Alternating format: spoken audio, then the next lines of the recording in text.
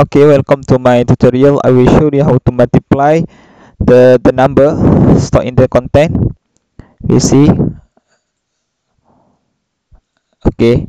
The question is multiply the number stored in uh, 0x115 by 8 okay i use the r left uh, r l and c f 0x15 f and a.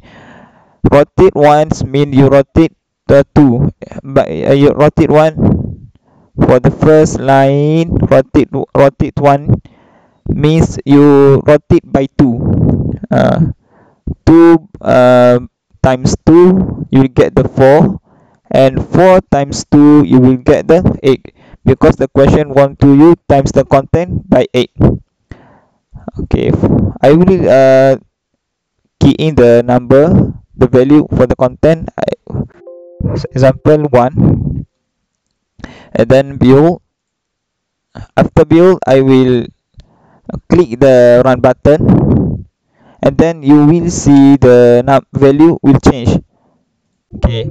Now the value 1 after i uh, click the ok you see the value will change.